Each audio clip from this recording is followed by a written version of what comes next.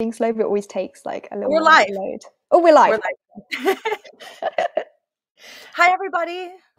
Hi, it's Katie here. Hi, I'm Jillian. All right. So today we're going to talk about everything that you've been seeing in the Facebook groups and in the WeChat groups. A lot of people are nervous and scared and, you know, kind of freaking out because we just went through this a couple of years ago um, with new changes in Chinese regulations.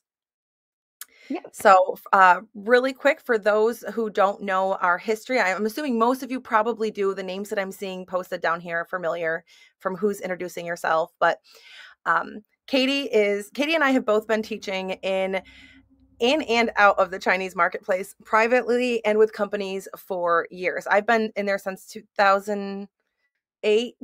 And how long have you been doing it, Katie? I think I got my first Chinese student in 2014, probably. Okay, so we have both been through uh, the double reduction policy, and um, Katie, would you like to? Because I know that there are a lot of new teachers here. Would you like to just quickly um, explain what the double reduction policy was and what it did back in 2021? Yeah, so back in 2021, the Chinese government announced a new policy called Shuangjian, which means double reduction. Um, and it was basically aimed at the education industry, not just online education, education industry in general, to try and regulate things a bit better. There were a lot of problems. I'm not going to deny there were a lot of issues uh, with the setup of private education companies in China at the time. Um, but as a result of that, a lot of the online ESL companies, um, we're talking companies like VIP Kid, Dada ABC, Palfish, both Gina and I talked with Palfish previously, loads of those companies, the big names, Wales a lot of them got that was a shut down. one. Wales English, that was a big one. Um, Yeah. I believe they shut down literally overnight. People woke up the next morning to find their schedules emptied, students gone, no salary in the bank, um, a lot of issues there. So and that all, happened. and all the parents had their money 2021. stolen, and yeah, It was a nightmare, actually. It caused a lot of issues. Um, but that was for China, that was actually a very small part of these regulations that were announced in 2021. Um, but for anyone who was teaching online, that had a huge impact. I would say the Chinese online market was probably the biggest market for online teaching at the time. So a lot of online teachers lost their jobs. And we're now two years on, and the, the regulations are still in place. That China hasn't lifted those regulations, and they've announced several actually new of policies or clarifications on these regulations in the couple of years since.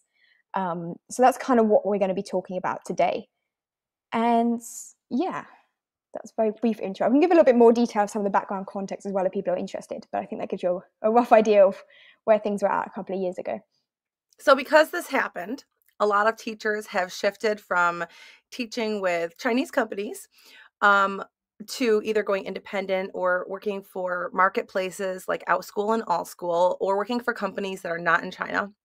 A lot of Chinese companies have opened up, but have gone to like running their businesses out of like Singapore or Hong Kong where the regulations don't affect them and they've lowered rates and pay so teachers are paid less with these companies where before it was not hard to find a job for $20 an hour and I mean now some of these companies are offering like 5 to 12 dollars an hour for the exact same thing that we were doing before. So a lot of teachers are under the impression and this is kind of a little side note but it is important to know a lot of teachers are under the impression that it's not a lucrative form of income anymore and that's simply not the case. If you go independent it, it is very much so a lucrative form of income or if you work with a marketplace and you really know how to internally market your lessons and your classes.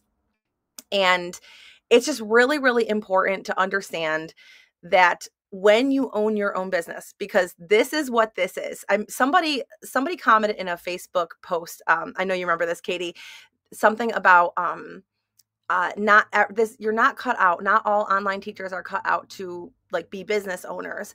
But at the end of the day whether you're working for a marketplace or you're working for yourself and you're doing your own classes independently that is what you are. You are a business person. You own your business whether you're an independent contractor or completely on your own. And because of that you have to think like you're a business owner. Things are going to change when you own your own business.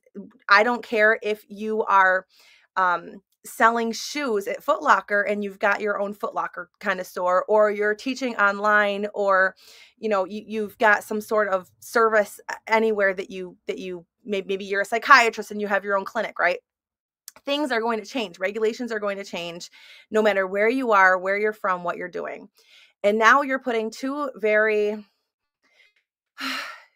uh, quickly developing things together. You're putting education and technology together. Those are always developing and always changing, always evolving. So when you are in this type of business, you have to be prepared for changes.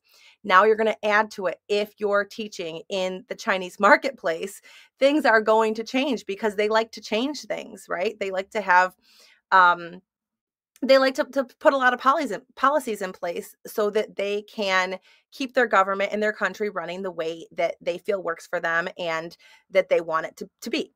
So this is also not just exclusive to China. Sorry, interrupting. Right, like, right. All countries around the world have regulations, right? For example, here in the UK, where I live, um, there were regulations that came out a few years ago that were aimed at. I think it was to do with like Uber and those kind of companies that were employing people on a sort of freelance type basis. That then had a knock-on impact on online tutoring companies because of the way that they hired the contracts they had with their tutors. Um, and that affects the online in- teaching industry just as much as it affected uber drivers. Um, and i think it's the same in i want to say california in america. I'm not california an expert and new york. side. so i live in new york. Yeah. Um, i actually had a teacher ask me yesterday. They're like oh i'm getting a lot of uh, people are getting a lot of bookings on vip kid. Are you with vip kid? I'm like i'm in new york they changed policies a couple of years ago federally they were trying to change policies a couple of years ago and if you scroll way back on my on my youtube videos and in, in here you'll see um you'll see the uh, an actual vip kid teacher went up there and talked to um the senators or Congress or whoever. I, I don't really like politics, but um, whoever it was that they were talking to. And uh, they were like, Well, what happens if you fall out of your chair at work? Like, who's going to cover you? And she's like, It's my house. I need to keep my house clean. But things are always going to change and you have to be prepared for those changes. The one really good thing, and I'm just, I'm going to preface everything that we say here, okay? Everything that we say here is going to be prefaced by if you do not rely on a company and you learn marketing skills, you learn how to market your business, you learn how to enroll your own students, you learn how to make content and just run everything on your own. And you're not relying on a company to give you the students and give you the hours and give you the pay. Then it doesn't matter what happens anywhere because you can take the skills that you learned and that you were using for your Chinese marketplace. Say tomorrow, China's put under a bubble, okay? Like from one of those movies, right? Like a big dome, right? And nothing can get in, nothing can get out. Completely cut off from the world. That's obviously never going to happen. Worst case scenario, movie style scenario, right? And China's not accessible. They're like off the map for you. What are you going to do? You're going to take those skills that you learned and you're going to apply them to a different market. You're going to do the exact same thing that you did for Chinese students and you're going to do it for students somewhere else.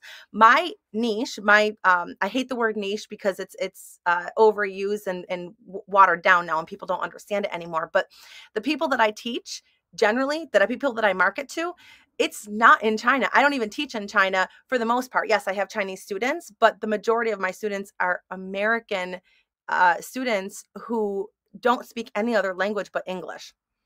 So like you, you don't even have to just teach ESL. You can be a math tutor, you could be a technology tutor, you could be a science tutor. You can um, you know, you can teach like Katie and I both teach teachers how to teach now. There's a million different things that you can do. You're not like pigeonholed into one thing just because you stop there yeah, and I'll just say quickly though, don't panic. For anyone's tuning in right now and hearing us talking about pivoting and giving up on China, China is not in that kind of situation right now um, in terms of this bubble idea. I was actually messaging a teacher earlier today who was talking, making comparison between like China and North Korea and the way they regulate the internet very, very different. Obviously, I don't think any teachers are, are teaching North Korean students here um, because their internet is completely locked down, right? I highly doubt China's going to go in that direction. And as we're going to talk about today, I'm going to screen share and show you the regulations, show you the official announcement from the Ministry of Education, and you'll see this is not what they're trying to do. Um, so we'll learn more about that um, in a moment. But Yes, I'm just having a look at the chat. There's, the chat's going wild. So thank you everyone for messaging in the chat. We've got lots of introductions. I can't go through all of them, but thank you everyone for saying hi and tuning in. It's great to see teachers from all around the world joining in today. Lots of familiar faces.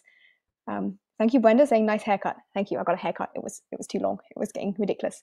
Um, there's a few questions and things, but we might get back to those later on as we go through because I think a lot of these will answer as we go along. Um, but if you've got any questions at any time, just pop them in the chat. I'm just starring them. We'll come back to them um, at a relevant point as we go along.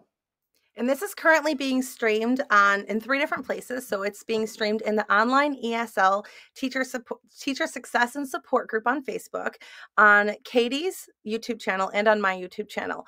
So if you are not in the Facebook group or following both of those channels, and this is something that you're interested in, you're an online teacher, and make sure that you're all three places because Katie and I generally generally talk about different things, but they both relate to online teaching. And that Facebook group has almost forty thousand members in it right now. And it's a great place to be and learn different things in regards to teaching online.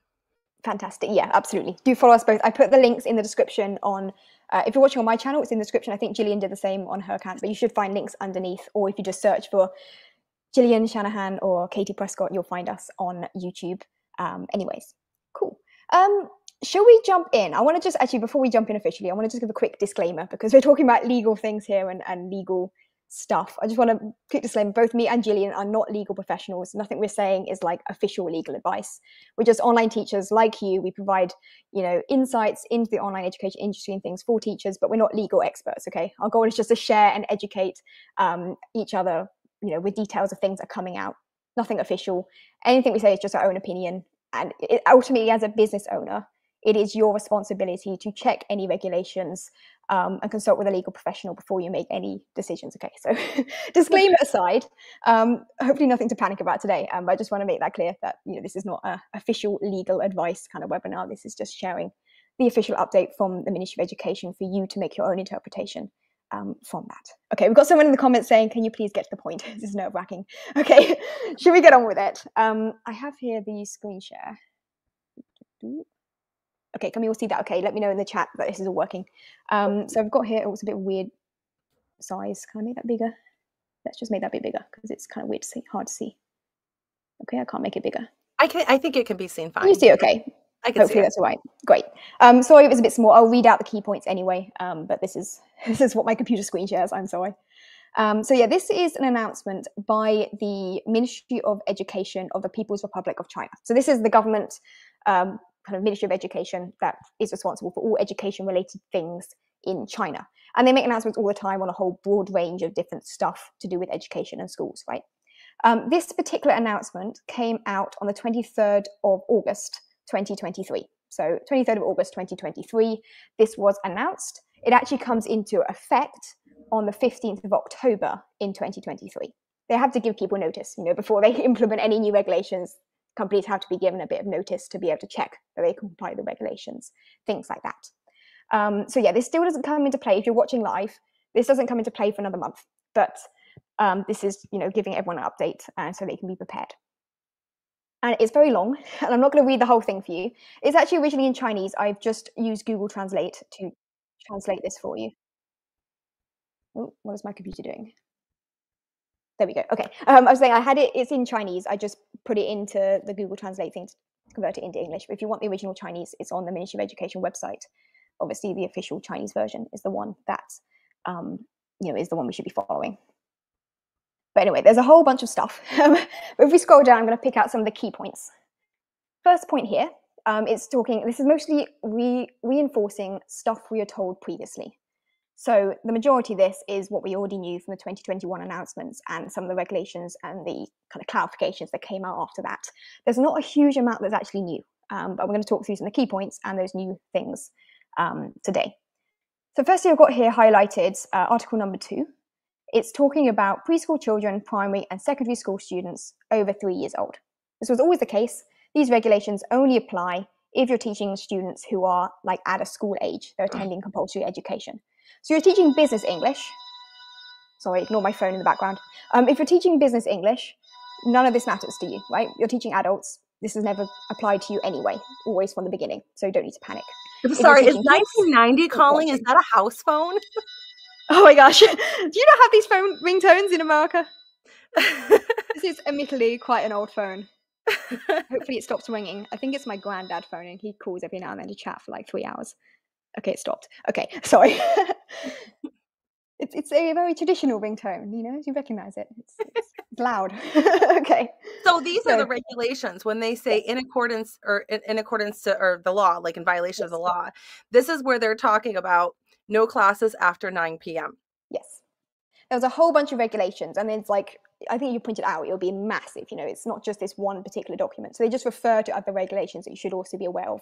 Like there was a rule about no classes after 9 p.m. It's not actually just classes. There's also no online gaming, no social media, nothing for kids like screen time wise after 9 p.m. And, and they they limited the amount of social of social media and gaming too to so yeah. many hours a week. But the one the the one that affects you the most, that affects online teachers the most, is no classes after 9 p.m., which is is pretty reasonable. The reason they made this is because kids were being overworked and overstudied, and they mm-hmm. had a mm-hmm. huge like mental health problem with their youth. So they needed to change this. So absolutely, like ultimately, the goal of these regulations was not to try and get a whole bunch of online teachers fired. They didn't. They had, they had nothing against online teachers directly. Their concern was about kids and the pressure being put on kids and parents to pay for the kids' private education and stuff because of the amount of.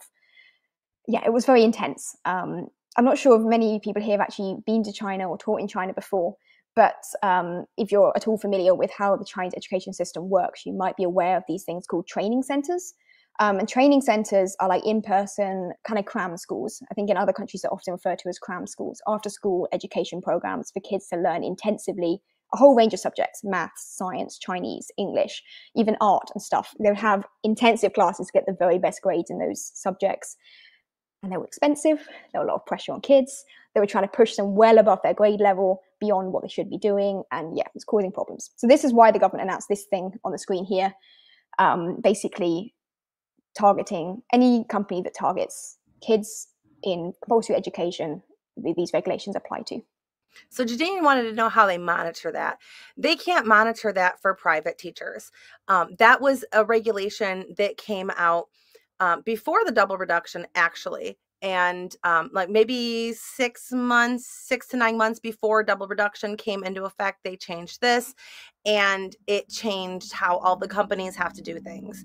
So uh, it's kind of it's kind of like common sense though like you don't want your kids if, if they have to go to school you don't want your kids up at nine o'clock take I, I don't want my kids up at nine o'clock at all like you're, you're in bed at seven o'clock the little ones like goodbye um the thing is that the government tried to the government trying to try to do various like less intensive measures to try and reduce the amount of pressure being put on kids and they've been trying to do that for years before the double reduction policy came out like no classes after 9 p.m like um, tutoring centres couldn't sell class packages that were more than three months in duration or more than 60 class hours. They put in regulations like that just to try and reduce some of the pressure being put on kids and the financial pressures on parents. But it wasn't working. And that's why they had to take things to a higher level and implement these stricter regulations. And that's why I think came about. And they okay, said, yeah, English, English for all over said, isn't it true? Teachers should not be outside of China. Um, this might be touched on a little bit later. in a minute. Yeah. But, oh, okay. Okay yeah, I want to address that actually in a moment when we look at the actual official bit on the, the on that in the regulations because okay. um, this is actually quite an interesting one, which I think I'm going to do next. Let me scroll down. Where did I highlight the next bit? Um, there's a whole list of other stuff on these regulations. Again, you can read these at your own leisure, talking about exactly what kind of punishments and who's responsible for what and all this stuff. Um, but what is most relevant to online teachers is if we scroll down as far as Article 9. This is on the section on jurisdiction. So, who does this law apply to? Um, and who should take responsibility for um, enforcing the law, right? Because in China, I think, I don't know much about America, but I think it's a similar idea to America where you have states that enforce stuff and then you have stuff at a government level, right? I, the UK is a bit simpler, perhaps, in terms of these things. But in China, you know, regulations can be forced at a local level they can be enforced at the level of the whole province, or they can be enforced at a national level, right, depending on the severity and where things are taking place. So there's a whole series of sections in these regulations that addresses that who is responsible for actually checking and enforcing these regulations. Most of it is all about in-person programs. I mentioned this a little bit earlier and about the problem of in-person tutoring centers, these cram schools in China being a major issue. And that's, to be honest, the main focus of these regulations. So articles, I think, three or something through to eight, these ones are all talking about in-person programs from, sorry, six. All of this section is about in-person programs. That's their main focus. It's only when we get to Article 9 it starts mentioning online off campus training activity. They call off campus training activity, just means outside of school education program. Um, and it says specifically administrative, ugh, words, administrative penalties for online off campus training activities without approval. That means you haven't got prior approval from the Chinese government to do stuff like you're not a registered business in China, for example, shall be under the jurisdiction of the off campus training competent department of the provincial people's government where the illegal subject is located jurisdiction. Some of that is a bit confusing and uh, probably not helped that it was Google translated. But essentially, what it's saying here is that depending on where the teacher is located, is the that is the location that's responsible for enforcing the regulation. So it says here the illegal subject is located. So by subject, they mean the person doing the action. A bit like we're all English teachers here, mostly. Mostly English teachers here, right? Subject and object in a sentence. Subject is the person doing the action. Object is the one receiving the action, right? Um, so, and it's the same with legal. I googled it. Apparently, the, the legal definition of illegal subject is the person doing the action. In this case, the online teaching. So, it, my interpretation of this, again, this is not official legal advice, but from what I can tell from this, if you're a teacher in China, let's say you live in Shanghai, and you're teaching a student in Beijing online, then it's a responsibility of the Shanghai government to enforce these regulations and to punish you for breaking the law. If you're not located in China, you're located in New York, and your student is in Beijing, then according to what it says here, it's the responsibility of New York to enforce these regulations. But these regulations don't even apply in America. This is Chinese regulations. I think this is where we hit the issue of what is the legal jurisdiction? Like who if you're outside of China, do you have to follow the Chinese laws? And it's interesting they haven't really made any they haven't really made any direct mention of online teachers, any provision for the situation of a teacher who is outside of China. They've only reconsidered the situation of businesses and independent teachers who are located within China. Um, and if you want to, which is interesting to look at. look at this. Now, you have to keep in mind that when things are translated from Chinese to English, that it doesn't always translate 100%. But if you look at this on the line above what she has highlighted here, it says off campus training institutions. You, as an independent online teacher, you are a person, you are not an institution. So this should not even apply to you that's the thing. So it talks about later about their definition of institution, like an organization. What how do they define an organization? And that's actually a separate thing again entirely. Um, but the firstly, does uh, does the jurisdiction apply? Is it are we under the laws of China in this case, or are we under the laws of the country that you're residing in? And according to what it says here on the screen, it appears that you'll be under the laws of the country you reside in, which is which makes sense, right, from a logical point of view. Um, and also from China's point of view, how could they even enforce policies anyway with countries like outside of China, um, particularly when it comes to individual teachers. And it's interesting to note that, like we've seen foreign companies, I'm talking like Cambly, for example, or some of the Chinese companies that just re-registered themselves abroad um, into, you know, Singapore or Hong Kong or America, or whatever. They are still advertising on Chinese social media. They are still recruiting Chinese students. Um, they're located outside of China. Okay, I think I've rambled on about this point enough, but hopefully this answered a few people's questions about um, like if you're an online teacher outside of China, does this apply? Um, short answer appears to be no, but again, this is your legal responsibility to check because there might be some variations in this. For example, if you have a registered business entity in China, you'd be in a different kind of situation there. Um, and if you are in China, then these laws very much apply to you. Like if you're a tutor located within mainland China, stop tutoring Chinese kids. Okay, like very different situation there. But I think most of us here, particularly if you're watching on YouTube or Facebook, which are obviously blocked in China, you're probably not in China. And I'll tell you, Daniel, um, who I don't know if, if, everybody knows who Daniel is. He used to be with VIP Kid or used to help, I'm sorry, he used to help teachers that were with VIP Kid. Um, he teaches privately um, inside of China. And he said that he's not worried that he doesn't even think it's going to affect him. So the teachers the the teachers that are actually chinese that are teaching inside china and they're teaching they're privately tutoring students independently and they live in china they are not concerned about this. Just to give you like an idea of how concerned you should be. Yeah, I think as we read through some more details on the regulations, you'll see they're very much focusing on organizations they're still trying to crack down on particularly in-person private tutoring centers. If you walk down the street in China, probably not so much today, but like three three or so years ago, before the regulations came out, probably before COVID as well, because that shut down a lot of stuff. But say 2019, you wandered through the streets in China. I was in China summer 2019, in fact, and I can remember seeing lots of these private education English centers, also maths, Chinese studies, um, English, uh, science, all of these subjects tutoring centers in China. They were everywhere. Um, that's what their focus was on. And there's big international and national level kind of companies operating in that area. There's also some really small local ones. I think that's what they're trying to narrow down on at the moment. And some of these, for those of you who don't know what a cram school is, if you ever talk to, if you ever have a student that's in a, in a cram school, it is ridiculous. Sometimes they have like basically dorms where they can live there or sleep there because they don't have time to go home. They will start at like six, seven o'clock in the morning. They'll start their their their education, and they won't get back until like eight o'clock at night. And I had a student that would come in for classes. I think her classes were at nine o'clock, and um, she would log into her classes and be like falling asleep at the computer, and yep. like uh, uh, you know or or or sitting there trying to do their homework like in the middle of class because not only were they there from like 12 13 hours of their day but then they'd get sent home with homework and then have to go to their tennis practice or their badminton practice or their ping pong practice and their english classes and everything else and it, it was it's a lot to put on a kid and you're talking the kids that i teach are usually like nine years old. So imagine putting your nine year old through all of that. So there's a reason that they did all of this yeah, I remember when I was living in China, um, I had a little side income doing a bit of tutoring here and there as well.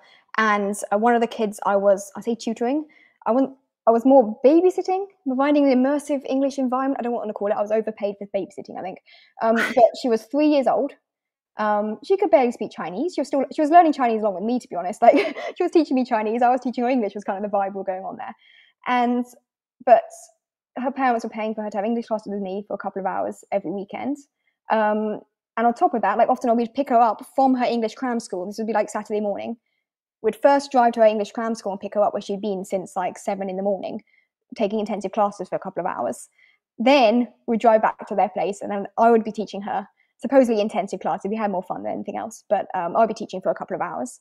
And then she had more things. I think there were more sports or uh, art related type things in the afternoon. Like she had a full schedule of stuff that she was doing. And this was the age of three years old.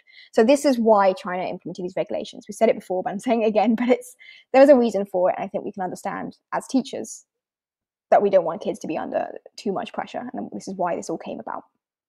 Um, I see a comment here that I want to address really quick. Mm-hmm. Someone said that they made a WeChat post um, surveying them to get their opinion on this matter.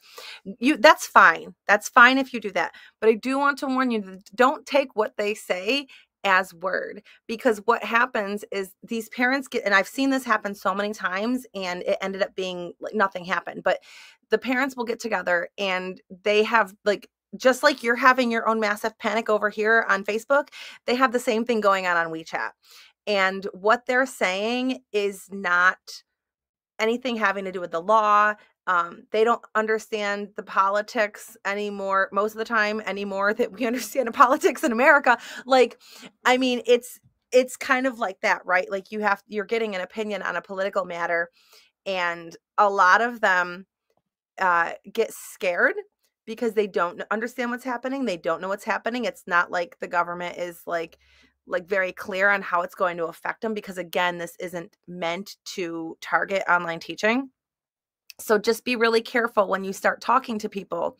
Um, you could potentially start a panic there where there wasn't one.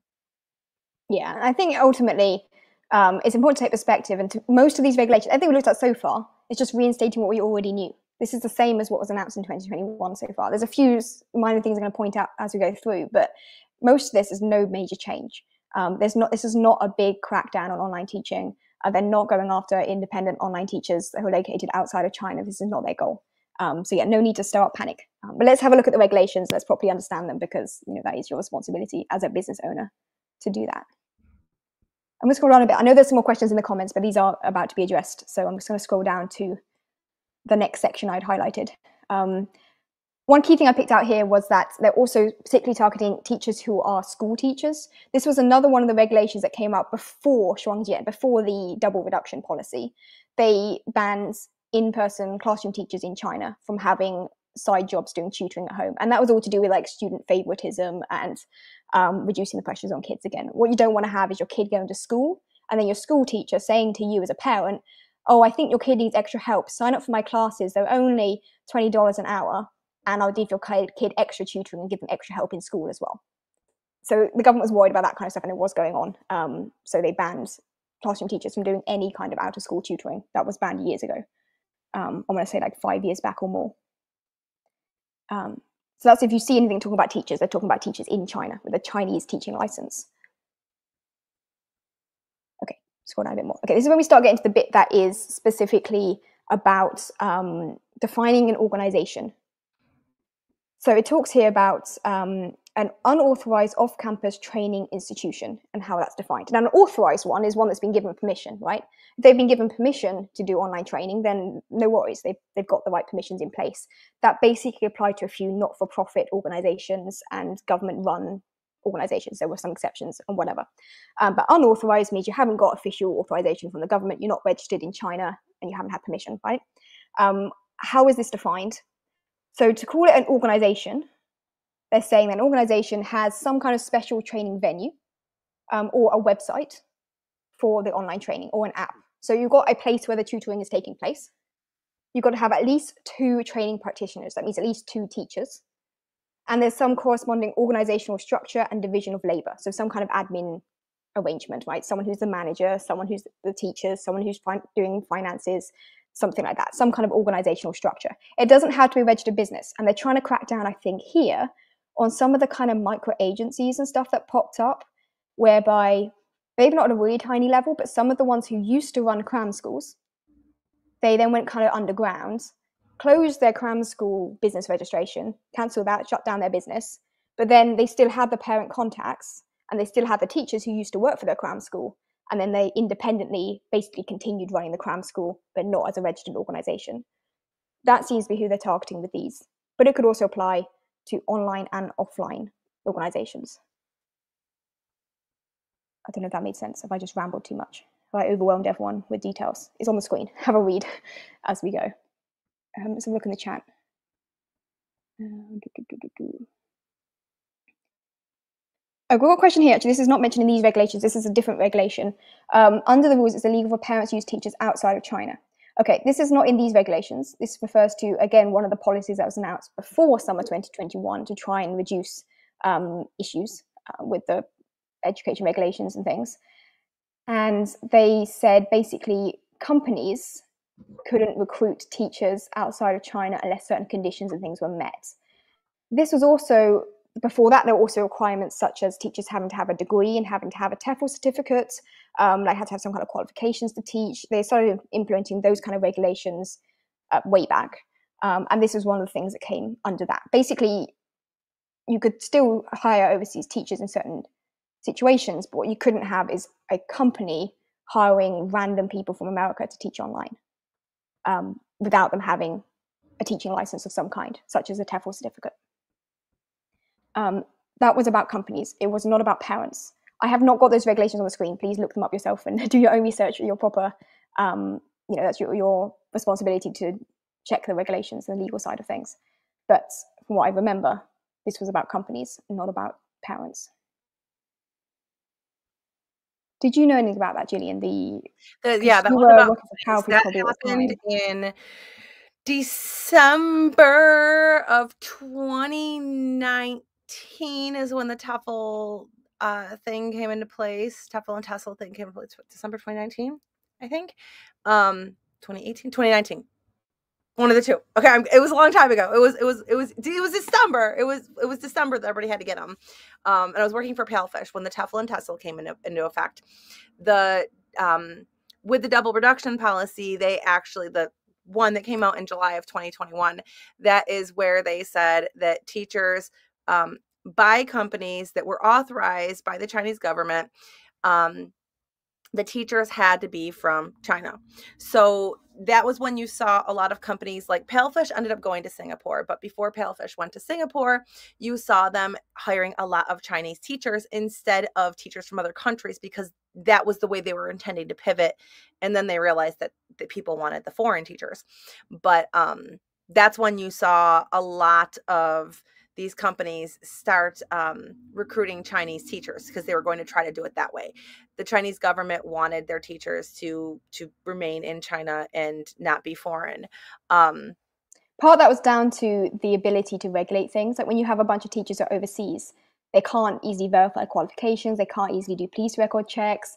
Um, they can't enforce policies so easily. Whereas when you've got teachers who are inside of China, you know, the government can make sure that these teachers meet all the requirements to be teachers, right? They're legit people, not some, you know, scary pedophile who wants to go online, all kinds of awful things. You hear some crazy stories about some of the online teaching companies and things that happened. Um, not to go into details, but yeah. Okay, so that was a little bit then. So they, they here they're focusing in on organizations and how they define an organization. It doesn't have to be a registered business. It just has to be something that looks organized with multiple teachers. Um, it then goes on in Article 18, which you can just see um, on the bottom of the screen here. Article 18 is talking about a natural person, legal person, or organization. Natural person means an individual person, not just an organization. Legal person could be a person or organization, it's the one who's legally responsible, or other organization. Conducts off campus training in a disguised form. And it gives more details what they define by disguised form. But again, this gives you an indication of what they're actually trying to focus on um, rather than online teachers. So they're talking here about people who continue to run these cram schools, these in-person training centers, but called it something else instead. Um, and as we scroll down, there's a bit more here, and they're counting. You know, this is how serious it is depends on various factors. And it has a list here what kind of things are included. Now, of note, it does include instant messaging, online conferencing, live broadcast platforms, etc. This is basically the only direct mention of things that are relevant to online teachers in these regulations. The rest of it very vague or very specific to organizations in China doing in-person tutoring. This is the only time it really directly mentions online teaching in this context in terms of who it applies to. Um, and then it also mentions various other things. In particular, I want to see point three here. This I know was a major issue for the government when they implemented the regulations summer 2021. Lots of those companies, they kind of pivoted by saying, okay, we're not doing academic tutoring, we're doing cultural education. Um, so we're not teaching them how to handwrite Chinese characters so they can improve their test scores. We teach them how to handwrite beautiful looking calligraphy to make artwork. And in reality, it was still an intensive Chinese character memorizing tutoring center, right? But they called it something different. Um, I know for a fact there were many companies that were doing like competitions where you got coaching as part of the competition that was basically training. Um, there were live-in teacher programs, uh, study tour programs that were still intensive education focused. That's what they were focusing in on. Point number three here. Um, and, and it's interesting, of, the commentary on this in the Chinese end is focusing on that as well.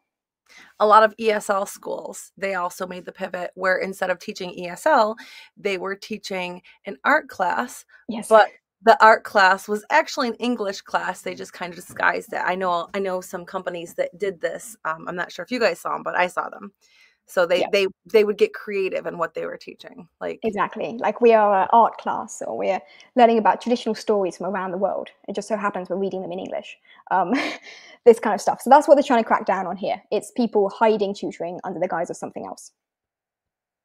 Um, but it is important to note they have mentioned specifically instant messaging online conferencing live broadcast platforms etc um, and it's paid. If you're not yourself, it's free. Don't, they don't care at all. There's plenty of not-for-profit and voluntary organisations. They don't have issues with that. Um, but obviously, I think most people here are trying to earn money from their teaching, right? So, paid online teaching through any of these platforms um, is potentially under these regulations. But also remember what I said earlier about the jurisdiction for people. Like it's based on where the teacher is based, um, from what we saw earlier. Um, right, I'm going to scroll down to the next part. All right, this is the bit I want to highlight. This is the main part, actually. Sorry, we're taking like over half an hour to get to this bit, but this is the main bit I actually want to point out to teachers. So if you've sort of half tuned out by now, please pay back, pay attention again now, because this is one of the key things I think is really worth highlighting um, that they are starting to emphasize a bit more. It says here, if an online platform operator knows or should know that its users are illegally conducting on online off-campus training through instant messaging, online conferencing, live streaming platforms, etc., but still provides services to them, the provisions of the preceding paragraph applies. And that's the preceding paragraph just tells them that the platform is responsible. Um, so essentially, they're saying if you're teaching on a Chinese uh, teaching platform like ClassIn, it's the responsibility of ClassIn to make sure that anyone teaching on ClassIn is compliant with the regulations. Now, this was interesting. We've heard some chat, and I'm not sure what you've heard, Jillian, on this as well, but I've had a few teachers saying that they've had rumours within the ClassIn community and then people working for ClassIn contradicting or agreeing with various rumours um, about whether these are actually affecting teachers using ClassIn. But I'm not sure what you've heard. I've I've heard uh, we actually have somebody in the chat talking about ClassIn too. Mm-hmm. That, that ClassIn made I think was it an official announcement ClassIn sent out a notification today saying that this does not affect them. Um, the thing with ClassIn, ClassIn is going to be different than if you're using Zoom or, sorry if you're hearing my beeping, sorry. ClassIn is going to be a little bit different if um, if you're using ClassIn than if you're using like Koala Go or Zoom or you know a lot of the other ones. And the reason for that is ClassIn is actually a Chinese company. It is owned and it is funded by Tencent, um, which is Chinese, and other Chinese investors. Um, so, because of that, uh, if anybody's going to have any, um, if any platform, teaching platform is going to have any implications, you would see it on ClassIn first. If ClassIn is sending out a notification saying that doesn't affect them, um, then you can rest assured it's not going to affect your other classes because it would affect ClassIn more and before it would affect if you're teaching on Zoom or if you're teaching on Koala or if you're teaching anywhere else. Um, simply because they are located in Beijing, I believe, and they are like like they all of their investors are Chinese investors. If this were to affect ClassIn um, it would it would probably shut them down because I could imagine that the majority of their business is from um, teachers because they're class Not really, actually. So this is something I think is quite interesting about ClassIn. Class In's main audience are universities in China offering online classes for university students oh. around the world or Chinese students. Um, that's why if you look at a lot of the features, they're designed for large scale classes. They've got a lot of tools that are useful if you're teaching really large groups like polls and stuff like that. Um, because that was their original market universities doing online classes. In fact, I took a university program that was an online Chinese teacher training program uh, with a university in Shanghai during COVID. Um, and because of COVID, I couldn't go to China to do this teaching program. Um, and instead, it was led online. And all of our classes were through ClassIn. Um, so actually, their main market is Chinese schools and universities. Independent teachers is a relatively small. I think they're trying to expand more internationally, but it's a relatively small market. So I think from ClassIn's point of view, remember what we said before about jurisdiction and like these regulations do not appear to apply for teachers who are related outside of China, who are located outside of China. So if ClassIn was to try and implement these regulations um, you know, more thoroughly, they would need to check every single user on their platform. What country are they in? Prove what country they're in. Um, and then make their assessment against the, these regulations. Also, take a look at the age of the student because you could be um, teaching online classes within China, which means it falls in, under the jurisdiction of China, but you're teaching business professionals, so it's not kids. These regulations don't apply, that kind of thing. So they would have to go through every single teacher on their platform and try and evaluate these things. Um, so I think there's either two scenarios. Firstly, they either don't bother. Um, and it's interesting that I think the reports people have heard back from ClassIn, some of them have kind of contradicted things, maybe because the person at ClassIn is not aware of whether they're talking to someone who's in China or outside of China. Um, so I think ClassIn would either not do anything or they would ban everyone um, who's not like a registered organization. Because if you're a registered organization in China, you've gone through some approval process, you know, like your university, for example, then these things don't apply. Um, but then they will lose a, a, relatively large chunk of their business, an expanding part of their business. Um, yeah, or they're going to have to go through some kind of process where they're manually checking everyone. Personally, I don't like ClassIn any anyway. So my advice is just pick something else. like make sure you have a backup option. If you're teaching with ClassIn or VooV or Zhumu or any of the Chinese platforms, make sure you've got a backup option just in case ClassIn does go down the route of just banning everyone who's not a registered Chinese university. Um, make sure you have a backup plan. I would recommend. Personally, I love Koala Go. I love Super Teacher. Um, even Zoom. Zoom has been having some issues. I think that's actually unrelated to these things. Um, Zoom has been having some issues, but make sure you have a backup option just in case. Zoom I also think been, Zoom has only been having issues for a handful of teachers. It's not yeah. affecting like it hasn't affected any of my Chinese students. Um, that I, I, I teach most of mine on uh, Koala Go, but the ones that I teach on um, Zoom, it has not affected them. And if you ask teachers, um, most of them are going to say none of my students are affected. It's just you're hearing about the ones that are affected because there's nothing to say if everything's fine, but you have something to say if you have a big problem. Yeah. So I mean, I think some of it is just patchy internet issues. Um, sometimes things are implemented at a local level, not at a, a, national level, so they're affecting only certain cities in China. But I have heard increasing reports of people, even with Zoom Pro, having problems. Um, exactly why that is, it's not clear. And um, this happens. Zoom Zoom said they had issues, like they officially announced that yes, they'd had issues in China and this happens probably every like six months this yeah. happens something like this happens with zoom in china this is not like it's just something that that zoom has to update their technical requirements or change things so that they're you know so that they work in certain areas um, change their server update their server it happens probably about every six months and when it happens you hear something like this from teachers like yeah. it's happening again it's happening again this it, it, and it hasn't happened again. So this is not um, an indication that uh, Zoom's going to be shut down in China. It's just a tech issue. Yeah, I think also with Zoom, you've got to be aware it's such a big platform for businesses doing online meetings and stuff. I don't think they'd ever be able to completely shut it down anyway. Um, but there were restrictions put in place. For example, I think it's now no longer possible for Chinese users to register accounts to host meetings within mainland China or something. That came about actually before the new education regulations. It was completely unrelated to online teaching. Actually, it was there was a someone did some online meeting about it was some campaign that the government didn't agree with, and they did it on Zoom, and people from China were able to join that meeting, something like that, and the government didn't like it. Anyway, there was some weird situation happened, nothing to do with online teaching, that resulted in there was Zoom being inaccessible for about a month, and then after that, there were restrictions on Chinese users registering accounts. But you know, that they adapt. There's things that change. If you want to avoid any issues, just go for Koala Go, Super Teacher. Um, there's a plenty of platforms out there. But yeah, sorry, I interrupted. What were you saying, Jillian?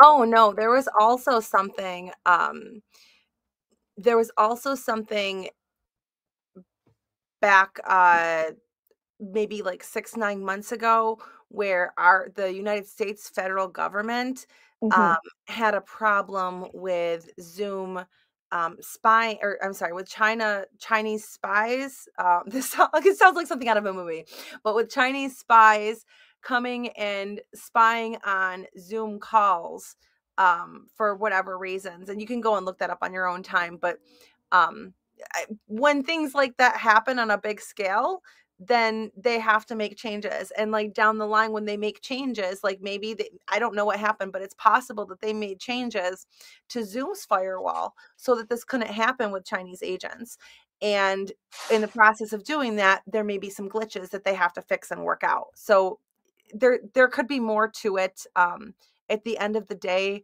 there are other options aside from zoom anyway exactly yeah, there's plenty of other options. And I think if you want to avoid issues with Zoom or with any of the Chinese platforms, have a backup option that is not one of those, like Super Teacher, like Koala Go. I know those work fine. Um, so pick another option. Um, I'd also say as well, it's interesting here that they're, the, they're holding the platforms responsible. So they're saying here they're not planning on going after individual teachers. They're going to go after the platforms that are facilitating the online classes. Um, and this comes down to, you know, again, as we already mentioned, the regulations aren't even targeting overseas teachers anyway. But imagine you're an online teacher based within China and you're using ClassIn or something. Um, it's very difficult for the Chinese government to go after one individual teacher. It's much easier for them to just find ClassIn and then ClassIn, it's ClassIn's responsibility to decide whether or not to ban those teachers and like to actually get on with it. Um, it's so they're putting the onus on the platforms to take that responsibility to sort of check whether people are following the regulations.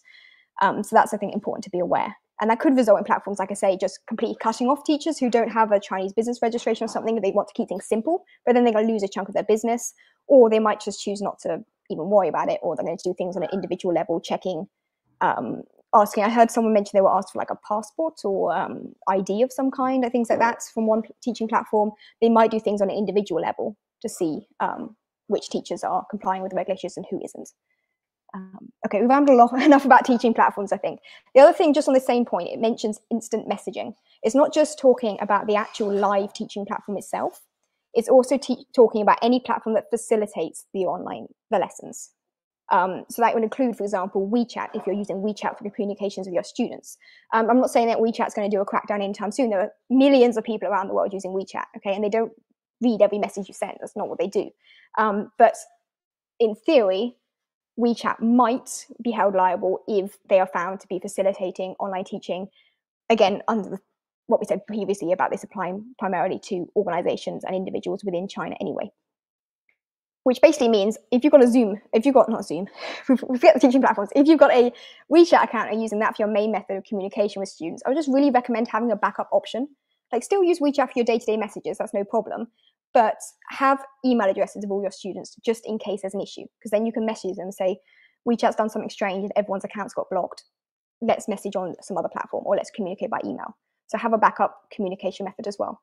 And also, like, I don't know what your opinions are on those WeChat groups, Jillian, but like, I always recommend teachers avoid those like teacher student connection WeChat groups, which are full of like 500 teachers, one parent who's looking for free trial classes. And I don't think teachers have success with those anyway. Um, certainly not if you're trying to target a high value niche, like they're full of people fishing for free trials. But I think there is a risk of being reported or like being flagged up as spam, um, and that could cause issues. I would never recommend doing that anyways. Um, when you go into those th- those groups, they become oversaturated with uh, here, here's like a quick marketing tip for you guys. This isn't any this isn't relative to what we're talking about, but this is a really good marketing tip for you. So go away, take this and and and leave with this information here. Um when you start and you you start marketing on WeChat what ends up happening if you get into these groups that are like parent teacher connection or old whales teachers or anything like that. Yeah. Um, you've got maybe 25% of it are teachers or i'm sorry 25% of it are parents and 75% are teachers. And what ends up happening is 75% of teachers are posting in there and spamming in there and whatever. The 25% of the parents go in there and they're basically window shopping. They're looking for the most acceptable teacher to teach the most um the most acceptable teacher at the cheapest price.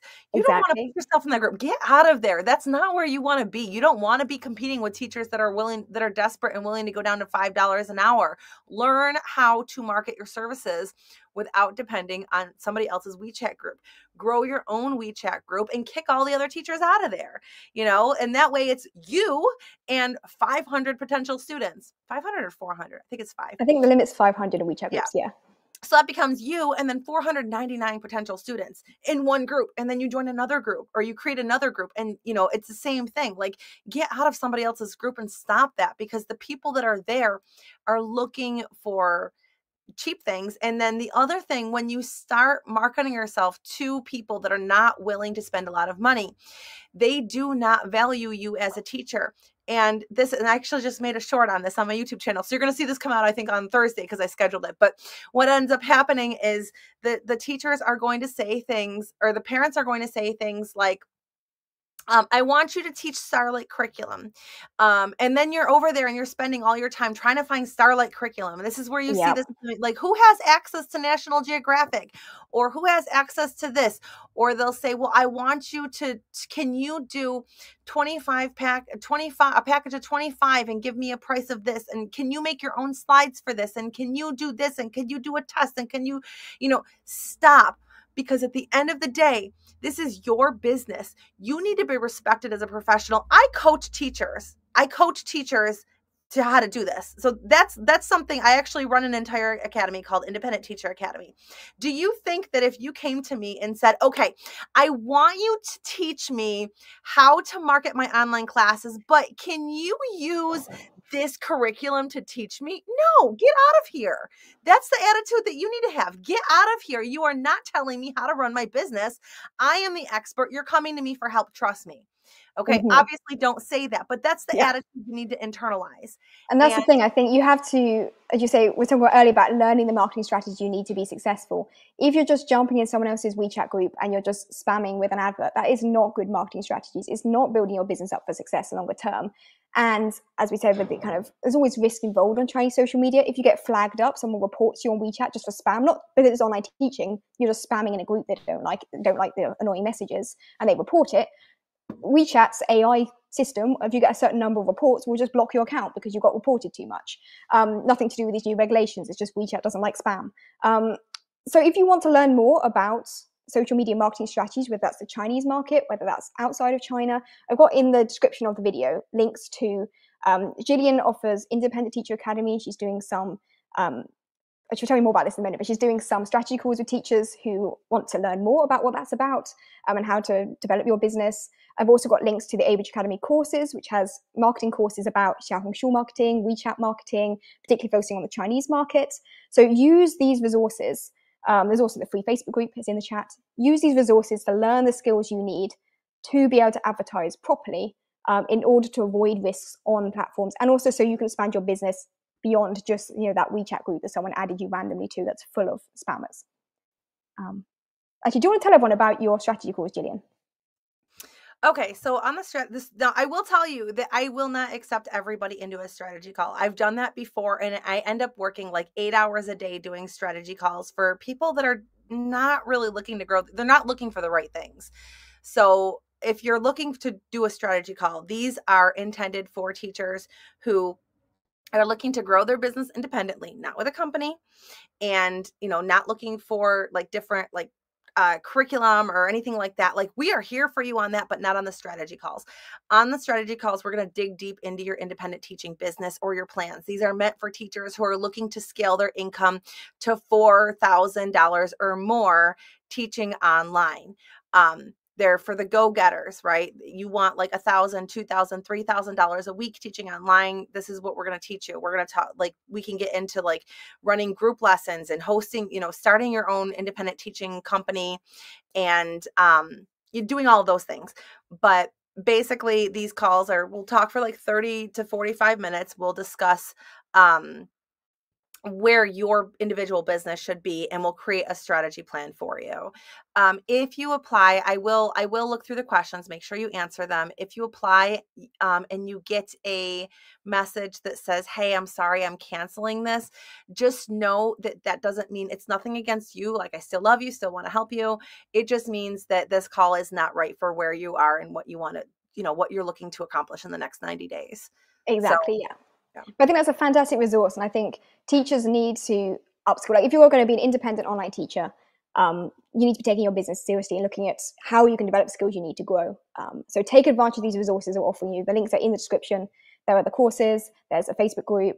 There's strategy calls. Um, I've just got Brenda commenting saying, "Great courses, thank you, Brenda. Um, really appreciate that." Um, so have a look in the description for that information. Um, let's just go back to what we're looking at.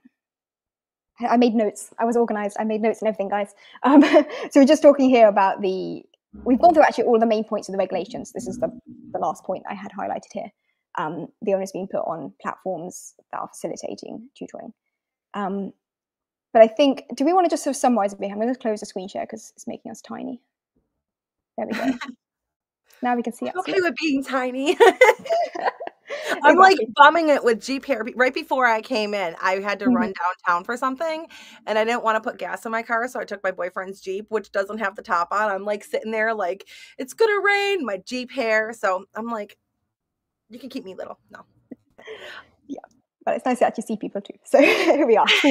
Um, uh, my oh, awful. Don't admire the spots on my head. At the right. end of the um, day, at the end of the day, what it comes down to is, is this going to affect you? Probably yeah. not.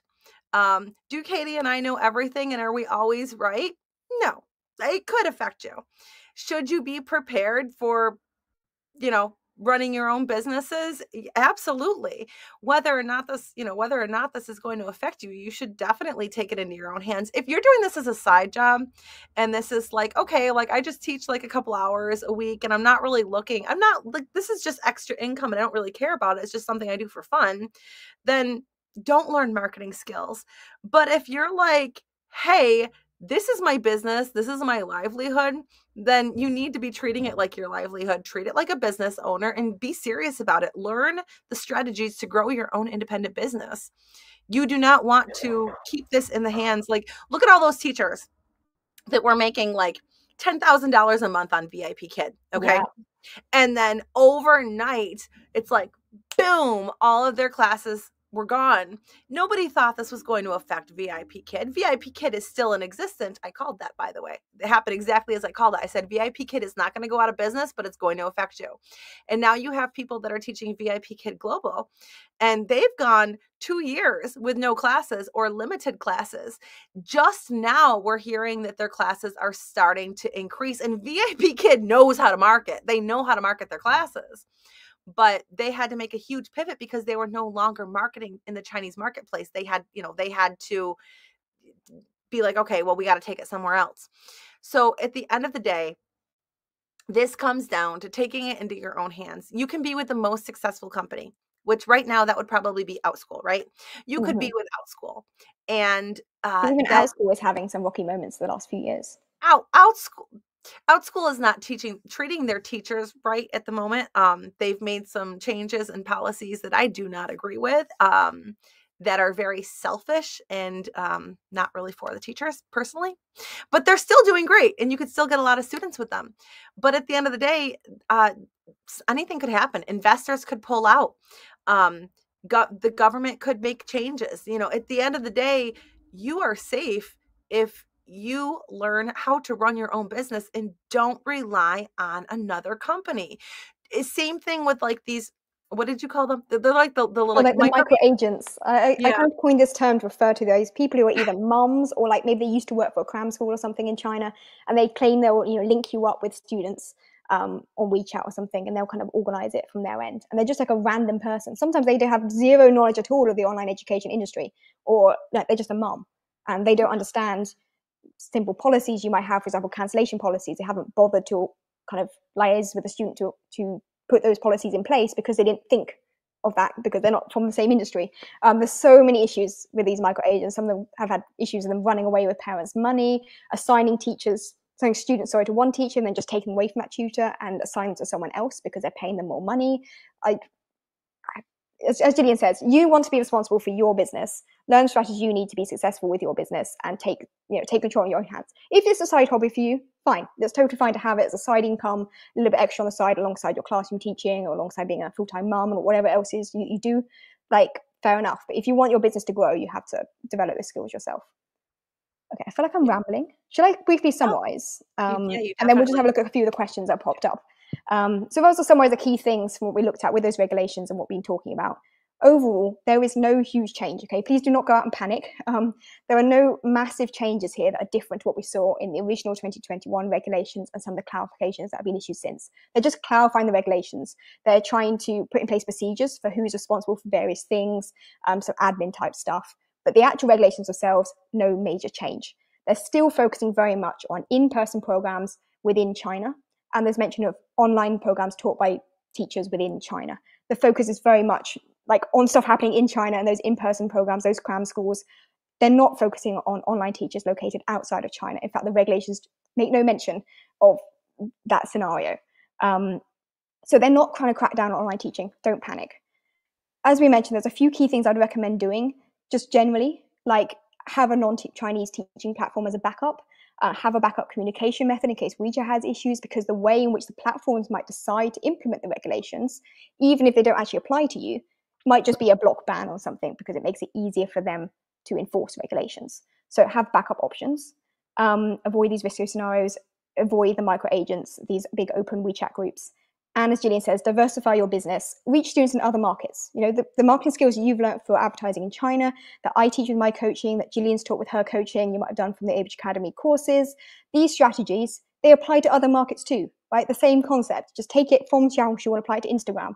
And okay, there's a few small technical differences, algorithms slightly different, but the broad concepts are the same. And the strategy you're learning will help you expand elsewhere. If you're still wanting to focus on the Chinese market, um, you know that's that's fine. You can still have a lot of success with the Chinese market. Don't panic. Um, you can also consider targeting a broader range of learners, like adult learners, for example, specifically excluded in these regulations. So then there's definitely no issues at all at any point in the future.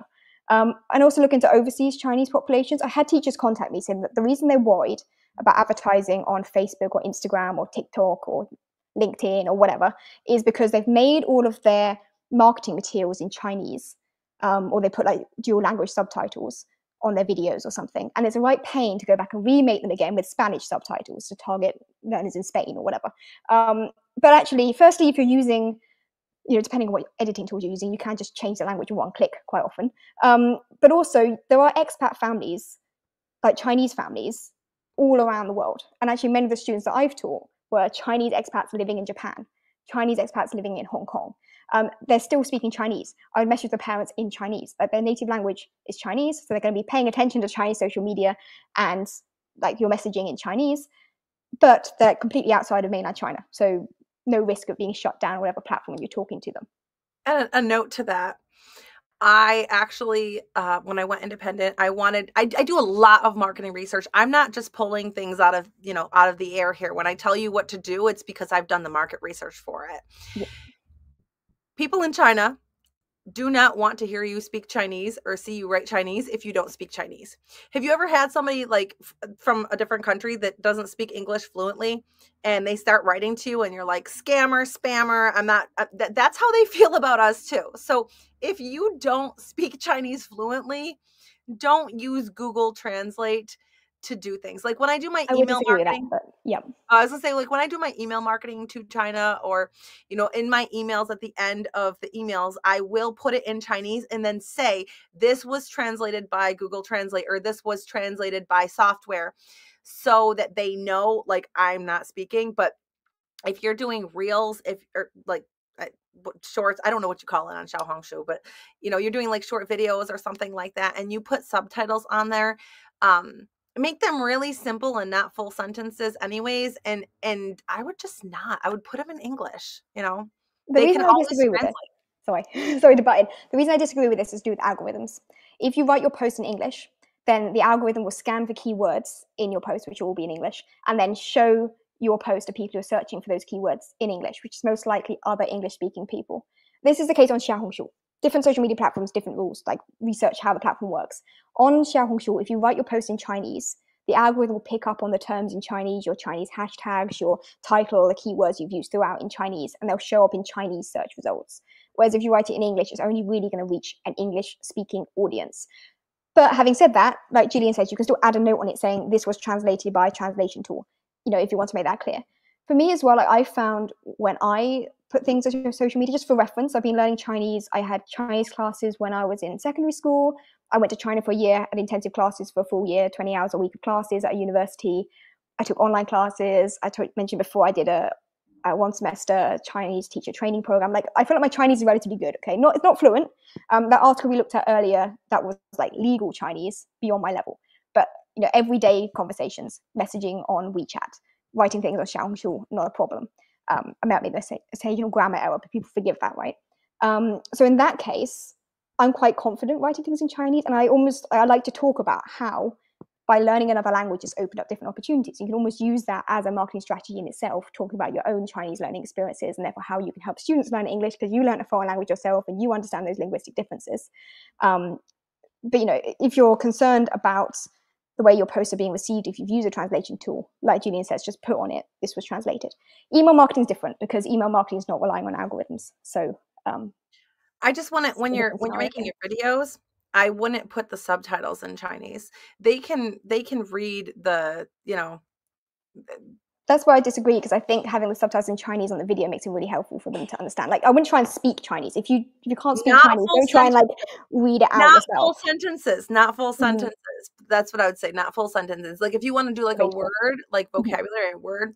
But see, you speak Chinese. Other people don't speak Chinese, and I've That's actually. If I yeah. use a translation tool to make the subtitles, sounds being a bit lazy, right? So I use right right now we're live streaming from Wave Video. I use Wave Video for editing my videos for posting on Xiaohongshu as well. So we really got a really great option to add subtitles and with one click to turn them into Chinese and add bilingual subtitles. But I do check them because like I can read Chinese, so I look at it and I'm like, that's not quite what I want to say. Or it sometimes they'll translate a word directly. Like for example, I saw a teacher made some flashcards recently. They put them on Xiaohongshu and it had the word cycle, like to cycle a bike, like ride a bike to cycle.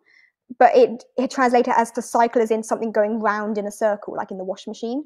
So it was like the cycling you use for talking about a laundry machine not the cycling for riding a bike. So like sometimes if you do individual words, it doesn't translate properly. Um, but yeah, we're kind of going off the topic actually of what we're trying to talk about today with the regulations here. But yeah, there's, there's very different opinions on using. And I will tell you, I will tell you, then it, when when it there is no there is there's not just one way to do things and i will tell you that katie and i do have different opinions and different experiences of things i think you're frozen are you frozen Oh, okay sorry, that's just me katie and i Just- I do have different um, methods and different opinions when it comes to marketing. Um, she doesn't touch email. Um, I do email marketing with my students, and it works. Um, I I don't I don't touch Little Red Book. I use WeChat and email. She you know she does uh, Little Red Book and uh, WeChat doesn't touch email, and we do have different opinions. So just, you know, Absolutely, yeah. yeah. Okay, should we jump into some of the questions? Because I feel like we've gone off topic and talking about our own thing, which is very interesting. But I'm just started a bunch of questions here on Wave Video for us Yes. to pick up on. Some of these we've actually answered, we went through, so I'm just going to remove them. Um, someone asked, where's it gone? I saw it. I saw it. Someone was asking about, um, where's it gone? Does your course have tags for teachers, Katie? Are you talking about hashtags, Brenda? Oh yes, this question. Oh, I think I think I know what this might be about. So someone messaged me before about this as well. Like in my training course, like I have a course all about marketing on Xiaohongshu. There's a free Xiaohongshu bootcamp, which you can find the links underneath the video. Um, it's under the Abridge Academy courses, and then that leads into like a big mega course about mastering Xiaohongshu. In those courses, I talk to you about how to use hashtags. Um, some weirds don't worry too much about hashtags because actually it treats them the same as other keywords mostly. Um, and I don't give specific tags because you don't want to be using generic hashtags anyway. Um, I show you how to research hashtags, um, how to find the right relevant niche hashtags for what you're posting about. But if you're using a hashtag like English teacher, it's that's not going to help. That's presenting you as a general ESL teacher who charges ten dollars an hour. That's not going to help you reach higher paying students. So, and I can't provide a summary of the hashtags for high niche students because it depends on your niche, right? What I use for teaching science students very different to what you might be using for teaching like business professionals in the fashion industry. Like So completely different hashtags. Katie's course provides a hashtag strategy, which is going to be much more valuable than a list of hashtags that everybody can use, especially because those will change all the time, anyways. Yes, Even if she did go through and, and yeah, so absolutely. And like with some of the teachers I've done coaching with, if you if you book one-on-one coaching with me, I do work with teachers to implement that strategy. You know, do the research with you. We find the hashtags that are doing well. I show you how to find ones for each specific post. You don't want to use the same hashtags on every post, and we work together on that. But yeah, if you're signing up for the course, it's a very affordable course. Um, but because it's very affordable, it's you know generic. So I'm teaching the strategies you need to, to be able to research the hashtags that you will have most success with. Wave. She uses Wave to edit her videos, which is new to me because. I've never used that before. That's what we're on right Oh, now. Wave video is awesome. Should I put this in? I will put my. I have a referral link. Let me send you my referral link, guys. Um, so Wave video is what we're using right now. So if you like the design of whatever you see on the screen right now, um, this is Wave video, and it's it's really useful because it's designed as a live streaming platform. So as you see, we're live streaming this live right now, um, but it also has a whole bunch of other features like editing. So when you want to record a video talking about, um, I don't know, what could you be talking about? Something to do with your teaching, right? So my specialism is science classes. So maybe I'm doing a video, I want to talk about the difference between entropy and enthalpy. This is like A level chemistry, high school chemistry, something or other. Um, then I might want to record basically the materials I would use in my teaching to show that perhaps. I wouldn't recommend doing this all the time, but maybe I'm doing like a demo of my class materials basically. You can do that within the Wave live streaming studio, like it's a live stream, but you just record it instead. And then within the Wave video, you can edit it and you can add subtitles and you do all these kind of cool stuff to it, add animations, chop bits out that you stumbled over, that kind of thing. Um, and yeah, you get it does bilingual subtitles in English, Chinese, a whole bunch of other languages. It's really good. I recommend. Brenda said we need lifetime access to what? To what? Tell me what. More. Lifetime access to the courses that's referring to. We talked about courses in Wenda earlier. If you buy the courses, the courses do come with lifetime access. The Abridge Academy courses, anyway. Um, Independent Teacher Academy currently does too. That may change in the future because it is currently underpriced with especially for lifetime access and coaching and the training videos. And Independent Teacher Academy just came out with a 2.0 version, which is meant to not just educate you, but to actually give you a strategy to implement right away and start getting students. But yes, lifetime access for both of our stuff. Awesome. Um, Yeah, I'm a big fan of lifetime access to things. It means you have. I think it's important to give people a deadline to actually implement stuff, but it also means you can go back to it in the future. a lot Mhm. of stuff in my courses, for example, are tutorials on like how to do various things. And maybe you haven't got to the point of editing advanced videos yet. But then in a few months' time, you want to review that section of the course about that and you'll go back and see the tools. In life, yeah. things can happen too. So it, it, would be terrible to go into a coaching program and then, you know, you get hit by a car and you're in the hospital and you can't implement it. And then you come out and you're like, oh, well, okay, now I have to buy it again. I, I just, I Yeah. like lifetime. Yeah, I like lifetime. Exactly. Okay, um, Brenda's just clarified to Wave Video. Wave Video used to do lifetime. Um, so I'm using my Wave Video account right now. I bought a lifetime access to Wave Video. It was very cheap. I got a good bargain because I bought it really early when it wasn't so good. Now it's much better. They no longer offer the lifetime deal. That was like an early people only deal. Sorry. I Mhm. don't. uh, Maybe they do in the future. I don't run Wave Video. No idea. But um, at the moment, it's a monthly subscription. They have a free, like a free-ish version, and then you pay for upgraded things. Groove is supposed to come out with eventually they're supposed to come out with something that is to replace like StreamYard and Stream Oh, StreamYard, yeah. StreamYard and Wave. Whether or not I mean right now they're focusing on an AI product, so I don't know when that's going to come out, but Yeah, there's a few other software tools and things I've used in the past that suddenly that the entire focus on AI. And right now, I'm like, I'm so sick of hearing about AI. I'm going to be honest no, no, I love know. AI. I know, Jillian. I know everyone's loving I AI, but like, how to ugh, use it. I have to teach it. You are going to love it when you learn how to use it because it. I've oh, tried. man. I'm not convinced. also, it's interesting because going back to social media marketing, um, I did a video a while back about using AI to generate a post on Xiaohongshu, and the content it came up with decent, not perfect, but it was fine. Um, after I posted that, suddenly my post reach plummeted. Um, I'm not sure that was complete coincidence, but I do suspect that they're scanning for AI. Like AI has been a lot more accessible in China for a lot longer than it's been known in like the UK or the US. Um, so I have a feeling some of the Chinese platforms already uh, don't like AI content. Like they're they're Not to spread rumors. like you yeah. okay so you, like you took the words from the is that what you mean like you took Yeah, I tried to do a little thing demonstrating how a teacher could use ChatGPT to make a post for Xiaohongshu. so Um, here's a quick tip when yeah. you're using ai tell it as much information as you possibly can okay so as much inf- like tell like i am a teacher that does this this this and the third and i want my post to convey this and blah blah blah blah blah. Tell it everything that you can. When it comes out it's going to be very robotic.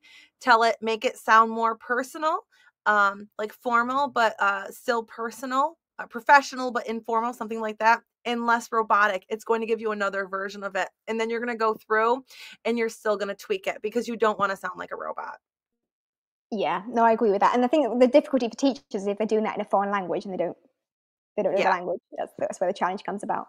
Um, but I've concluded that using AI generated content directly for posting things in Chinese is not necessarily a good idea. Um, I I don't know. I like to write stuff myself. I'm too traditional. Anyway, um, we've got a few more questions here that I just want to pick up on because we're already massively over time. Um, mystery Facebook user. Um, by the way, there's a link underneath the video for you to authorize Wave Video to access your name in the future. Um, the question is, what about Alipay for payments, facilitating and tutoring payments? I think this comes back to what we were talking about before about online platforms potentially being held liable. That is potentially the case. What would you say, Jillian?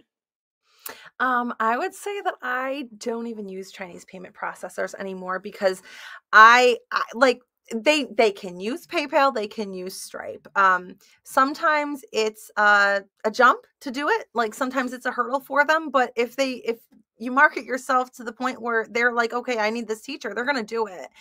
They have access to credit cards and debit cards and all of that. They just don't usually use them. They connect them to WeChat and they forget about them, but they still have them. Yeah. When it comes down to it, I don't. I've never used Alipay, um, and I don't use WeChat Pay anymore because what happens is, this I'm going to give you a little snippet here that I do in my coaching and I do in my Independent Teacher uh, Academy program here. When you are teaching and you're using WeChat, WeChat does not give you the option to do a subscription.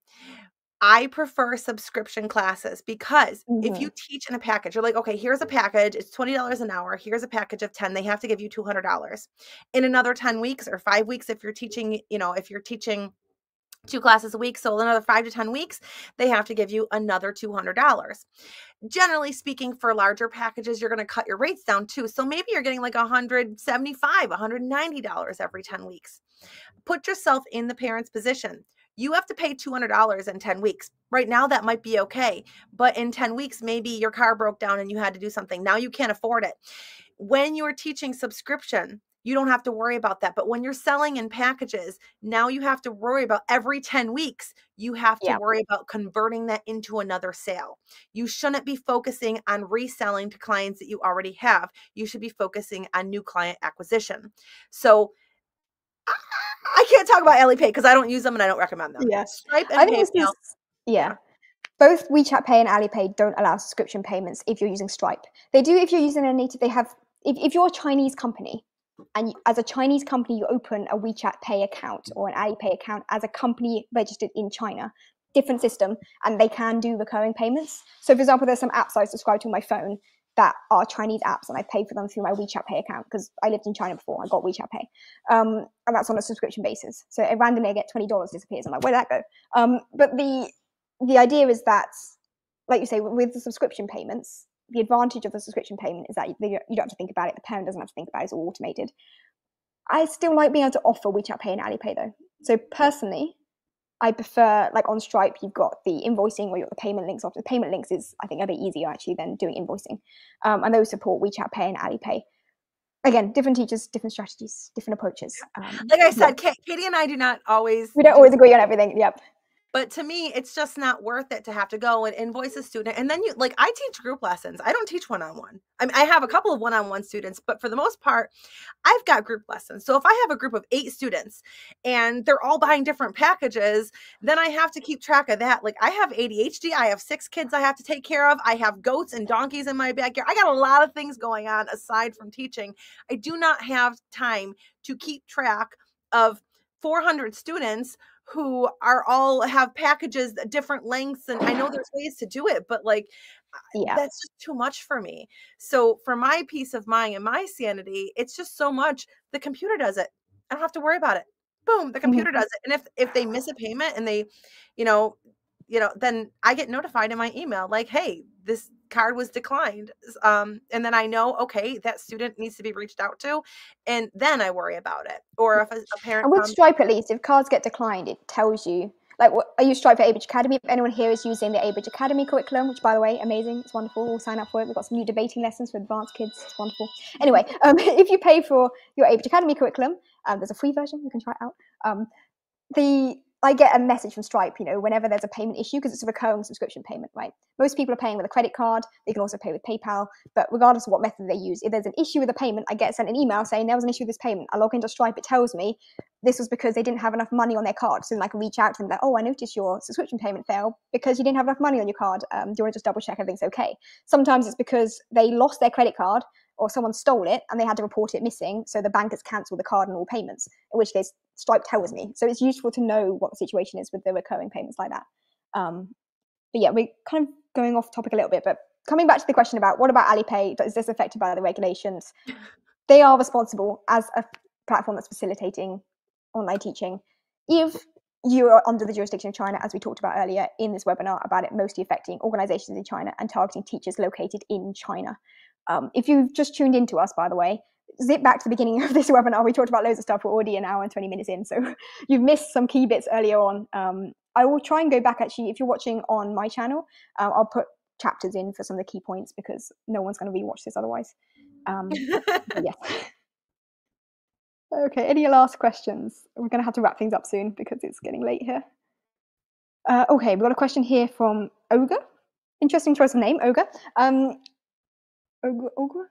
Maybe I've said just pronounced wrong. Anyway, every Okay. country every country, yes. Other than Except for Chinese market, Korea. what other nations do have you think of elementary level students that pay well for learning science or English? I mean, I'm in the UK and parents here are looking for science and English classes. Like the, the entire world, uh, except you know, there's a few countries like Russia right now and North Korea we talked about as being examples of countries that are not accessible. But the vast majority of the world that is accessible to online teachers, they all have elementary school kids unless there's something really wrong with their country and there's no kids left. They all want to have classes.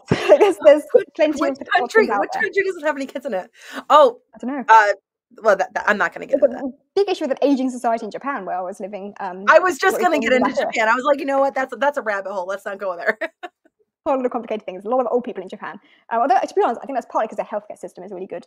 Um, but yes, other than Chinese market, the whole no world, the world the japan Japan actually has a an issue where they don't want the people in Japan don't want to have kids. So there's a huge gap here and they're actually worried about who's going to take care of their um of eh, there here's here's a rabbit hole. They're actually worried about who's going to take care of their um uh, elderly population in a couple of years because there's like a 20 year age gap yeah. where there's not going to be a workforce. So now they're talking about opening up their borders to allowing immigrants to come in, which is very interesting. Well, it's, it's, probably the only someone who immigrated to Japan and lived there for a year and a half. Well, uh, there. Yeah, this is something. This is something the government is really talking about in Japan because um, they have a couple of you know they have some immigrant immigrants there, but um, they have not opened up their borders more so um because they're you know they they're japan right? Like it's it's it's not like you come to america or you go to the uk and like everybody looks different. It's it's japan you know? Yeah. and um there's a there's a big controversy there but the big thing in japan is that they don't have that that young population. It's a it's a you know people are moving out people are not having kids. The same thing's actually happening in china but on a on a smaller scale um yeah but yeah, they're yeah. Whole of the rabbit hole of issues. but yeah, but going back to the question about other markets, the world is your oyster. There's so many. There's students everywhere. Every country in the world has got kids who are looking for classes. Could be English, it could be science. I think that person mentioned science, like subjects. You don't just have to teach academic subjects. I know people have success teaching yoga classes. Like think about your hobbies, think about your broader skills, think about other things you might want to offer to diversify your business. So many things. there's there. a teacher. There's a teacher that is in our academy in ITA, and um, he's a religious teacher he teaches uh like Bible study kind of stuff, you know. Don't do that in China, but yeah, very like there's a whole range of different things you can do. Um, any country around the world, almost. Um, so keep an open mind as to what the options are. There's a question here from Julie. Are there any penalties for students or parents participating in unapproved learning and teaching activities in China? Um, I recommend watching through the video. And actually, I'm going to, there's a link for the, let me just put it in the chat as well, the link for the actual regulations. Um, the Ministry of Education in China has not got an SSL certificate on their website, so it's not encrypted, and therefore your website, your web browser will pop up with a warning when you click on this link saying, "Warning: This site is not secure. Do you trust it?" It's the official government website in China. You can trust it. It's just they don't know how to use the internet. Um, so I just put the link there for the actual regulations. You probably deactivated it if you if you've done enough work with China. Like I've long deactivated that warning off my computer. Okay. it's so annoying. Um, but anyway, if you get a warning, don't worry about it. It's this is the government website. So I just put the link in the in the chat. And this is the official regulations. Have a read through. So penalties for students or parents, there is no mention at all in these regulations of student or parent. Like just do a search for the word student or parent. There's no mention of any penalties for students or parents in these regulations. Um, obviously, as we said earlier, we're not legal experts. It's your responsibility to check the regulations blah, blah, blah. Um, don't sue. But yeah, no need to worry about those. Uh, okay. Was there anything else that you saw, Jillian, in the chat that we have missed? Mm, I don't think so. If we did miss it, uh, comment really quick here. Comment um, super quick or just message on the video later and we'll come back to you. Yeah. Um, so yeah. Oh, do I need to make sure I only teach Chinese people, uh, Chinese children up to 9 p.m.? That that people have been teaching Chinese kids after 9 p.m. Um, and eh, you've been they've been fine like nothing's going to change with that um i i would recommend to only do that on weekends though because you know like it, eh, they're they're still kids right? Like if they're gonna just think about yourself as a parent like i don't want my kids up until 10 o'clock learning a, another language they need their sleep they're you know so um do i need to make sure i only teach chinese children up to 9 p.m on weekdays i would just ethically um, yeah. but you're not going to be penalized for it. Exactly. I mean, even some of the Chinese platforms, like I taught on Palfish before, and they still had kids taking classes after 9 p.m. I'm not sure how they got around it, but like, they certainly reduced the number of students taking classes that late. But I had one kid, I think he was technically in Hong Kong, but like he was taking classes at nine. Um, I just don't recommend it, like you say. And also, the kids, they need to sleep. They're not energetic enough to be able to engage in a class. Let them go to bed at nine. Um, yeah, and also we were talking before about diversifying into other markets. Like 9 p.m. in China is 7 p.m. somewhere else. Like, uh, look at other countries. 9 here. there we go, 9 a.m. there. Look at the homeschooling kids in in America who want uh, mm. who want classes. Okay, Julie's just saying thanks. Excellent. Glad that helped. Yeah, I'm noticing the viewing numbers are kind of decreasing now because I think it's getting towards everyone's falling asleep. Um, yep. Should we wrap things up? Yes. Um, just at the end of the day, make sure that you learn marketing strategies.